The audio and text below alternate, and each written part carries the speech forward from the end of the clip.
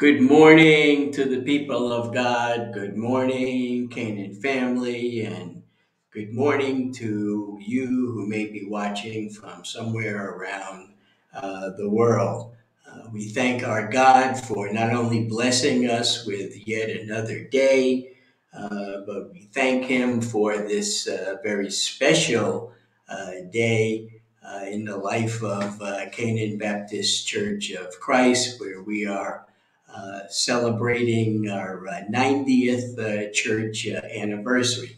And so, from the time during the Depression right up until uh, this very uh, time, presently, God has been with us through all of the ups and downs and all kinds of controversies and good times and not so good times. God has been with us and kept this uh, old ship of Zion uh, afloat uh, when so many have fallen uh, by the wayside. So we are especially uh, grateful to God upon today. but initially, we're grateful that you all have decided to tune in this morning and to hear what God has to say to us. And so, because God has been so uh, gracious and kind to us, uh, let us now uh, look to Him uh, for His blessing.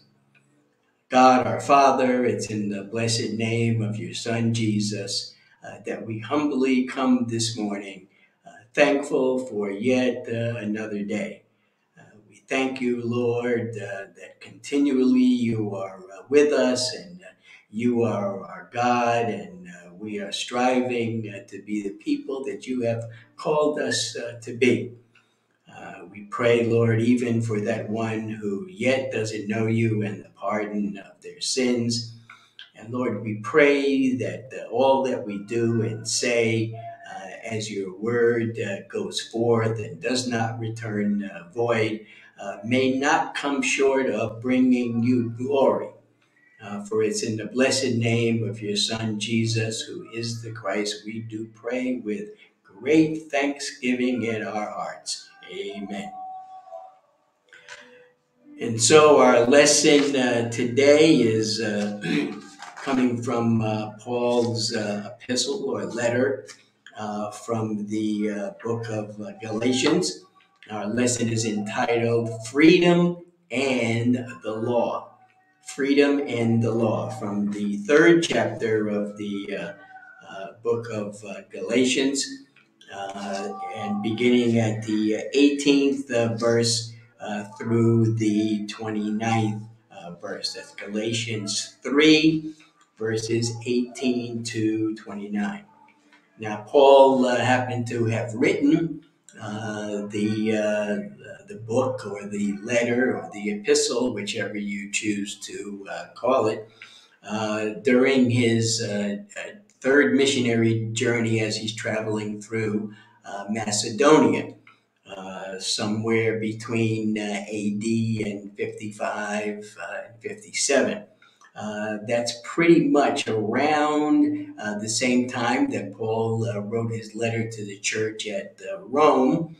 Uh, which he uh, penned from uh, Corinth, as we had a, a few lessons from the book of Romans, that great doctrinal book. Uh, now, Paul is uh, principally concerned uh, with this writing of the letter to the church at Galatia with the controversy that was surrounding um, Gentile Christians and uh, the Mosaic uh, Law. And of course, this was a time when the majority of uh, Christians uh, were, uh, were Jewish. Uh, and of course, the, um, the main thrust of the controversy had to do with the Jews feeling that the Gentiles really couldn't become Christians unless they actually became Jews first such that the males would have to be circumcised and like.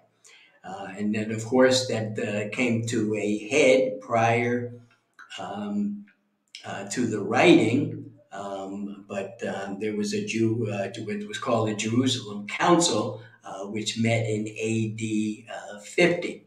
If you notice, as I've mentioned before, that we always uh, don't say the number first and then AD after, uh, basically because AD is Latin short for Anno Domini, the year of our Lord. Uh, and so we always make sure that we say AD uh, before whatever uh, number. Uh, that being uh, said, let us now uh, read our lesson of, of Scripture, beginning at the um, 18th verse of the third chapter through the 29th verse. So if you have your Bibles uh, handy, uh, I'll give you a second or so to uh, to turn, uh, and then we can uh, we can read together. Or if you just want to listen, that's uh, fine as well. That's Galatians three, Uh, beginning at the 18th uh, verse. For if the inheritance be of the law, it is no more of promise, but God gave it to Abraham by promise. Wherefore then serveth the law? It was added because of transgressions, till the seed should come to whom the promise was made, and it was ordained by angels in the hand of a mediator. Now, a mediator is not a mediator of one, but God is one. Is the law then against the promises of God? God forbid. For if there had been a law given which could have given life, verily righteousness should have been by the law. But the scripture hath concluded all under sin, that the promise by faith of Jesus Christ might be given to them that believe. But before faith came, we were kept under the law, shut up unto the faith which should afterwards be revealed. Wherefore the law was our schoolmaster to bring us unto Christ, that we might be justified by faith. But after that faith is come, we are no longer under a schoolmaster. For ye are all the children of God by faith in Christ Jesus. For as many of you as have been baptized into Christ have put on Christ. There is neither Jew nor Greek, there is neither bond nor free, there is neither male nor female, for ye are all one in Christ Jesus. And if ye be Christ, then are ye Abraham's seed and heirs according to the promise. That's Galatians 3, verses 18 through 29. So Paul uh, uh, begins um, by talking about um, what the law uh, is and uh, the difference between uh, the law uh, and what would ultimately be um, God's uh, grace uh, through our belief that was able to save us and such that we could then be part of God's family of faith. Uh, there were a lot of uh, false uh, teachers um, that were adding uh, confusion um, to newborn uh, believers about what God actually required to be part of His family. Um, and as I mentioned a little while ago, the controversy set us principally centered around uh, the uh, Jewish Christians. Remember, the majority of Christians uh, at this time uh, keeping in mind that uh, being Jewish and uh, Christian is not mutually exclusive. Even today, we have uh, plenty of uh, messianic um, con- congregations where they are Jews as well as Christians. But um, the Jews at that time um, really were trying to hinder um, the word of God uh, from going uh, to uh, Gentiles, such that the Gentiles would then uh, believe the word of God as it was preached uh, by Paul and others, and then accept uh, Christ by faith. Um, now, Paul is actually arguing that God gave Abraham um, a, a promise uh, about 430 years even before uh, God gave the uh, law uh, to Moses uh, from up on Mount Mount Sinai. Um, and so, um, in order to inherit Abraham's promise of blessing, Paul argues one must simply follow Abraham's method of attaining righteousness was since there was no law at the time God made a promise uh, to him. Um, and of course, that promise included uh, not only uh, land, but all of the uh, thousands and hundreds of thousands and millions of uh, his descendants that would come after him by, by faith. that all Abraham did is believe the promise that God made to him. And so, because uh, we, like Abraham, um, uh, are not uh, under the, the law, um, we are able to be part of the family of God and the, of the seed of Abraham solely because of our belief. Uh, and so, if a person believes and is faithful to God, then they will be made uh, righteous. Uh, justification actually is an act of grace uh, through faith, such that we are in a right standing uh, with God just because God has given us, in fact, the faith to believe.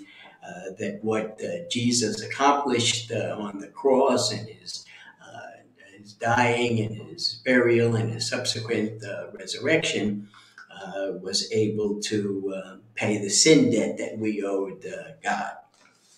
And so uh, in the 19th uh, verse, Paul is raising the question well, what was then the purpose of the law?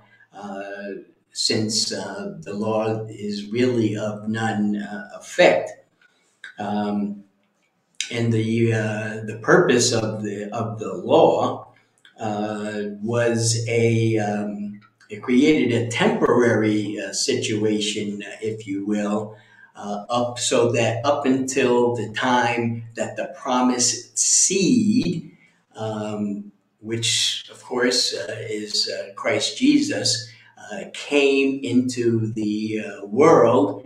Um, there needed to be a, a system whereby people uh, would be able to um, know uh, what it was that they were doing, uh, be it right or wrong, and uh, that if in fact they were able somehow to uh, keep the whole law, uh, they would be in right standing with God. The law stimulates faith in the promised seed uh, who, as uh, Jesus himself uh, pointed out, he didn't come to abolish the law, but he actually came to uh, fulfill uh, the law, and that the law was interim pending the coming of the seed, which, of course, as I mentioned, is is Christ.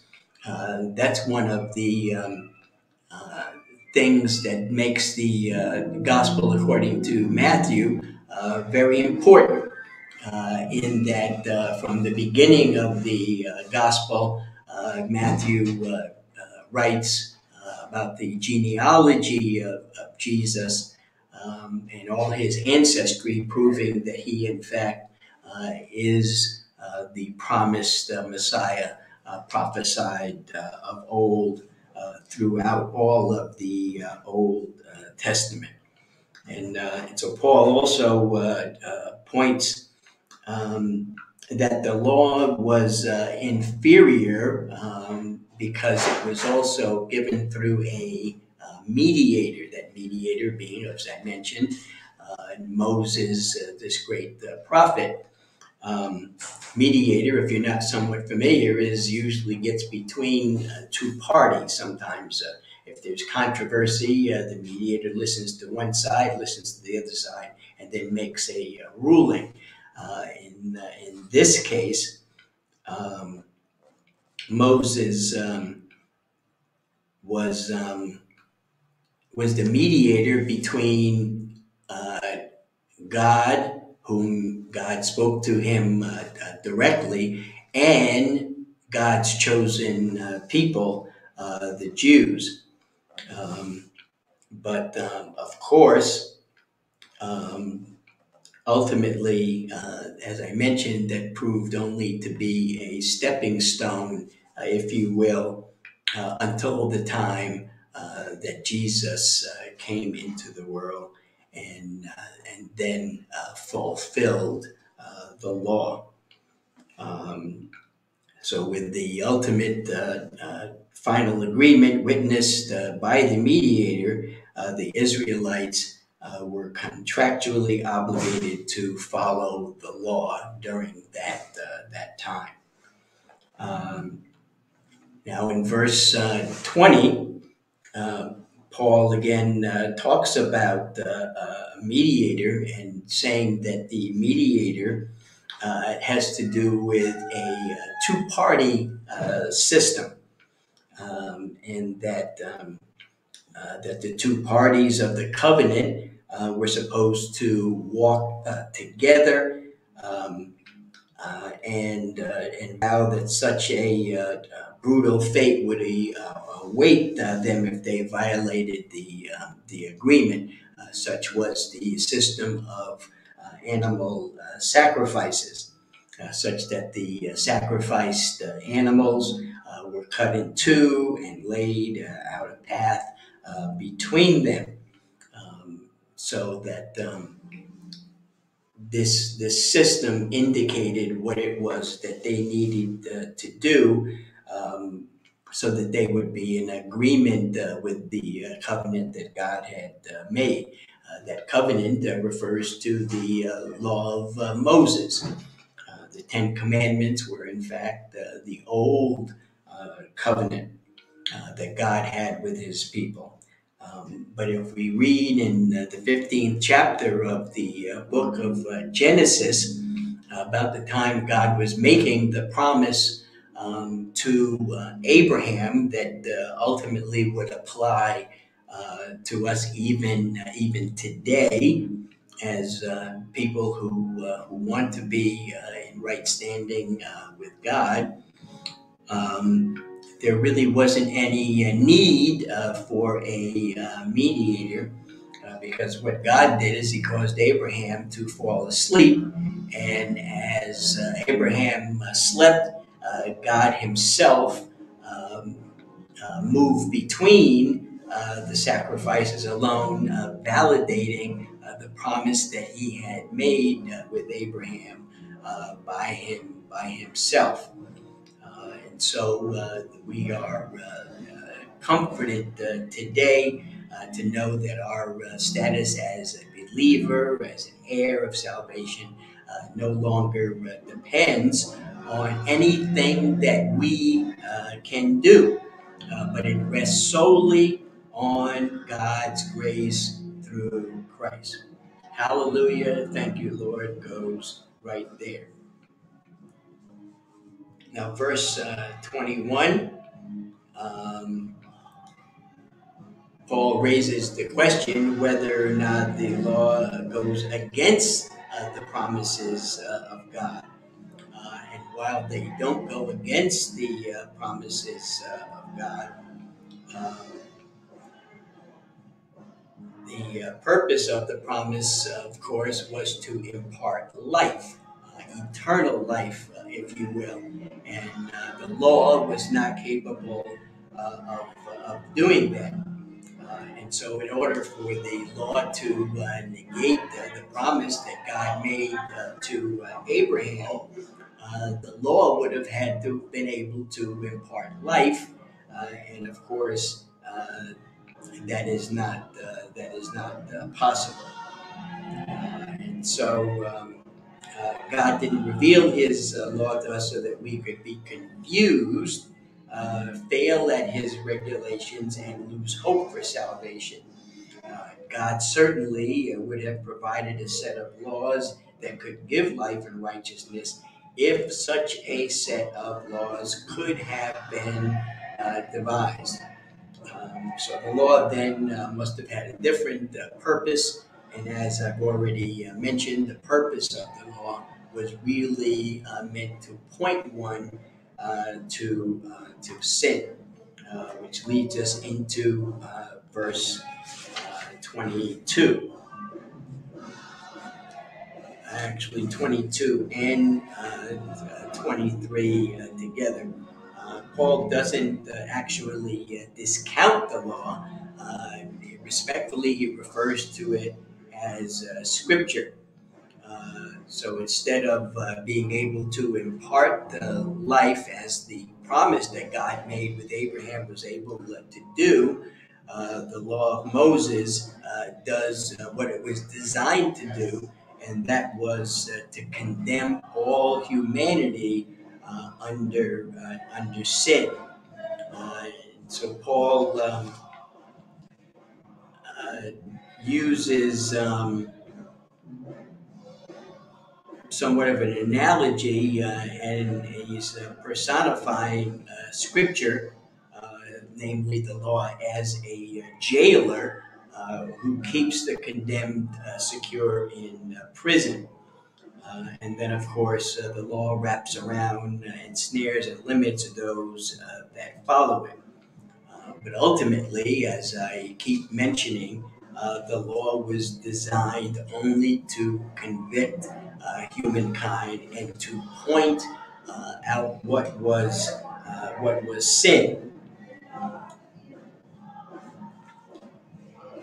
So the um, the images uh, of the law because they uh, certainly wasn't capable of anybody from uh, able to keep the law.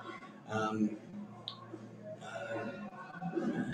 somehow people could um, make the misunderstanding that the um, uh, the law was given by a God who was uh, harsh uh, and cruel. in truth, God's law closes his people to keep them uh, safe. In other words, we would need to know uh, what is uh, what is wrong and uh, what is right. That the law reminds uh, them of the guilt of their sin, uh, but it also keeps them close to God, so that when faith comes and then is revealed, they can partake of it. God ensnared His people uh, in the law so that they could all be gathered together to ultimately receive the gift of Jesus Christ all at the same time.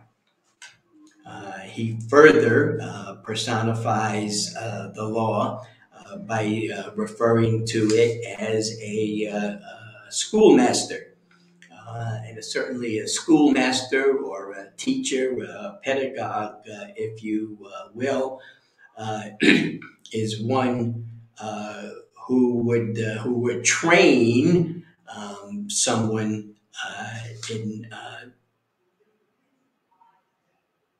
train someone so that they would um, be able to live a correct and and moral life. Um, and so the law served to guide uh, those under it uh, to Christ for their justification uh, by faith. Uh, the law is wise and useful, but it is not the end goal.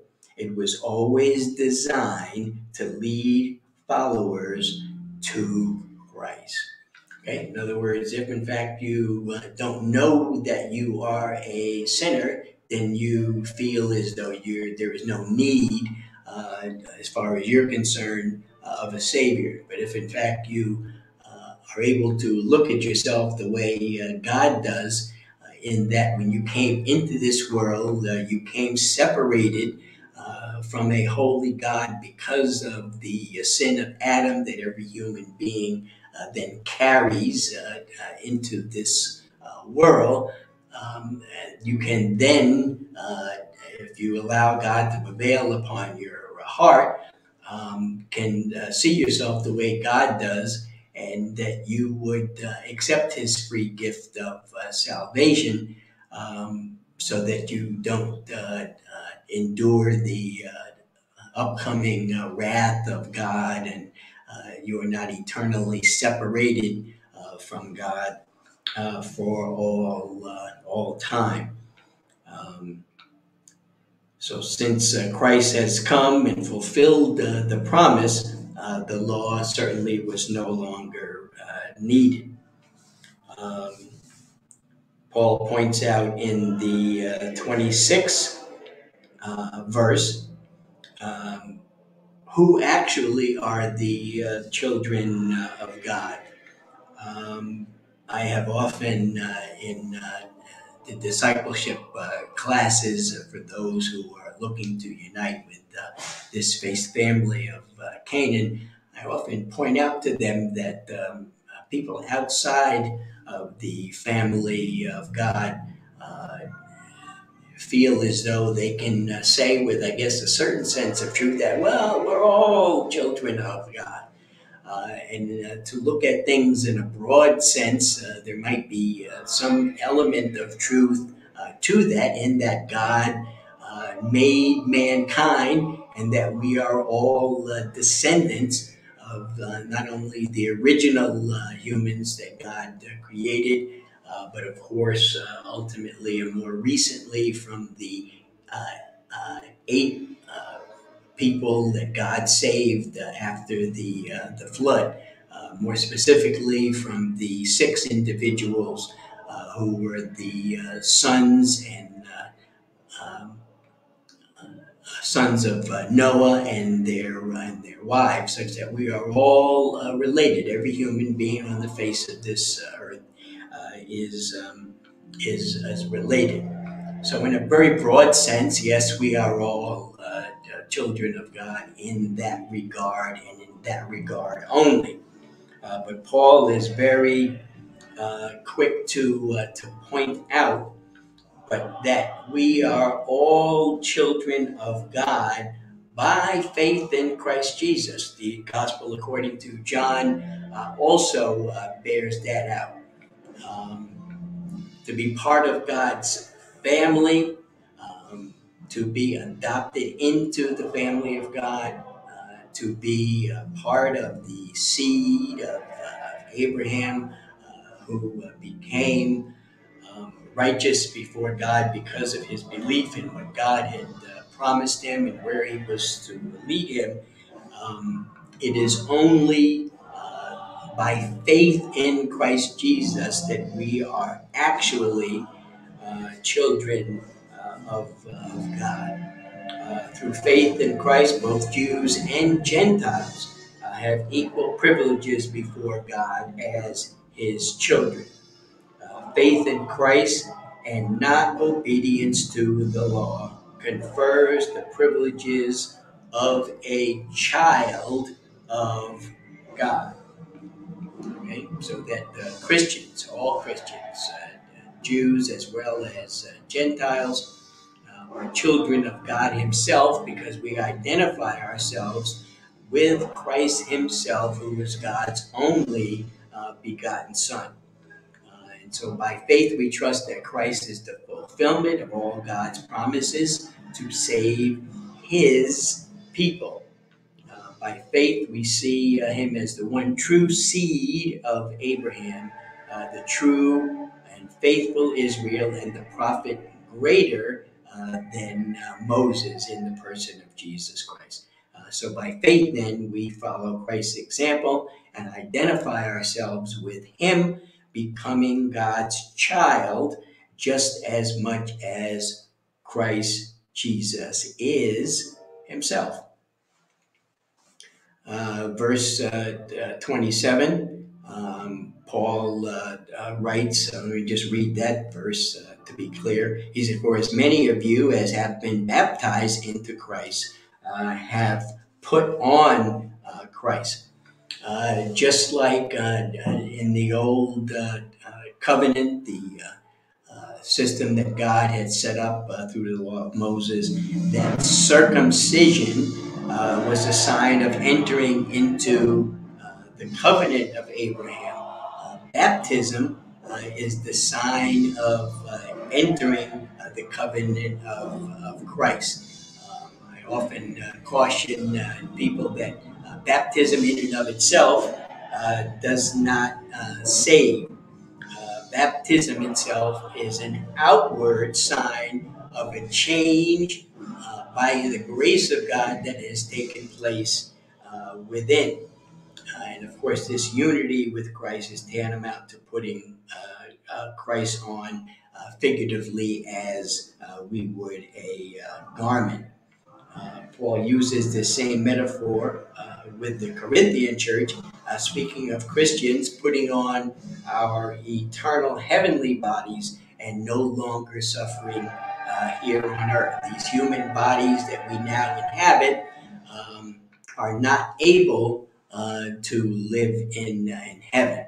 Uh, and this is why uh, when one dies who is in Christ, uh, when uh, that body is then uh, raised to be reunited uh, with the spirit that has been uh, residing in heaven, that glorified body, like unto the body that Christ Jesus has himself, will be flesh and bone, but will not contain blood as our bodies do now.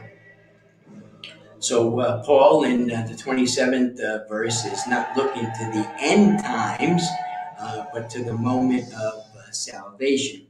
Uh, he highlights the need to make visible our spiritual union with Christ here and now. and certainly during the time of Paul, clothes really did make the man uh, as some people even feel uh, today uh, with the um, uh, explosion, if you will, uh, how the, the fashion industry is worth billions and billions of dollars.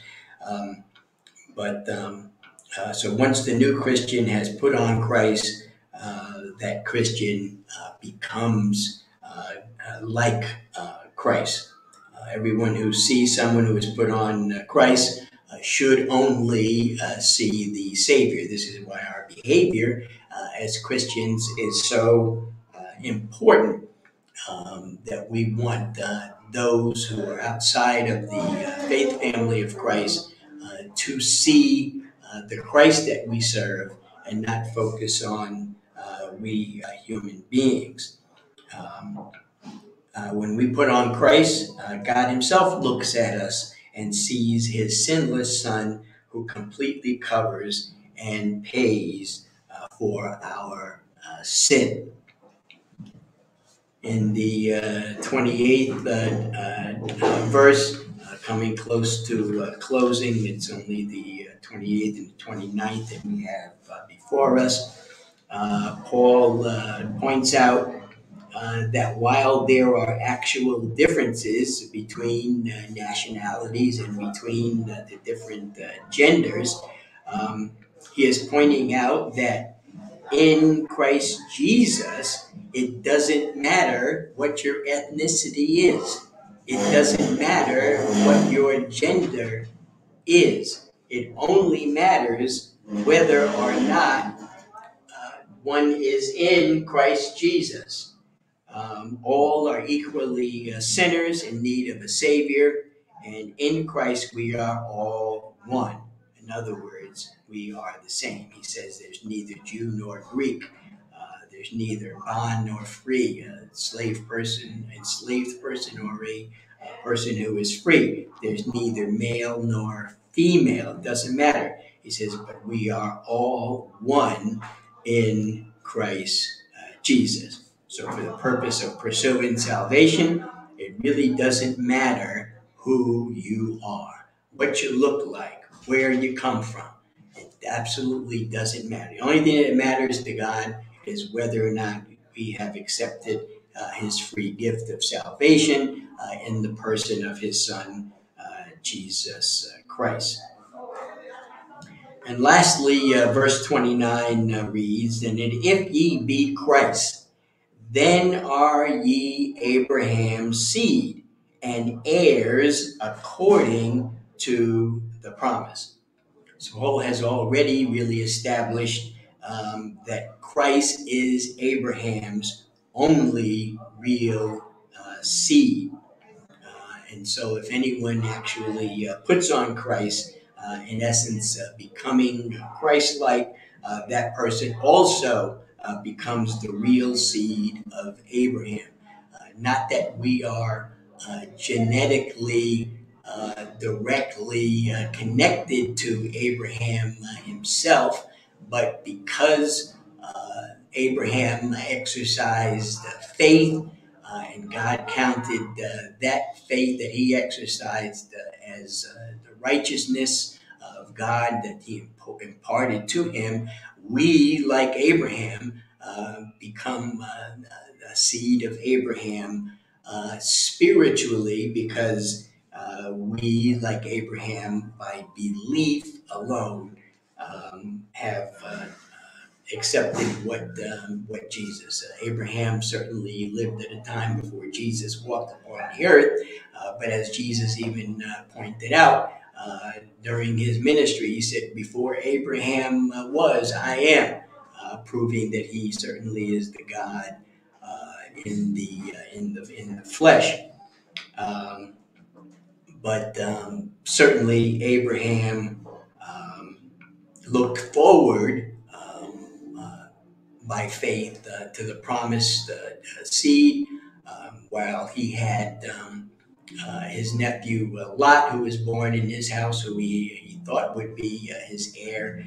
Um, God certainly pointed out to him that that wasn't going to be his heir. Even his wife tried to help God along by giving her handmaid to Abraham uh, to raise up uh, seed. And that was also, Ishmael was also not the uh, son of uh, promise, but it was only uh, Isaac who was born of the union between uh, Abraham and, uh, and Sarah, was the promised seed was able to come.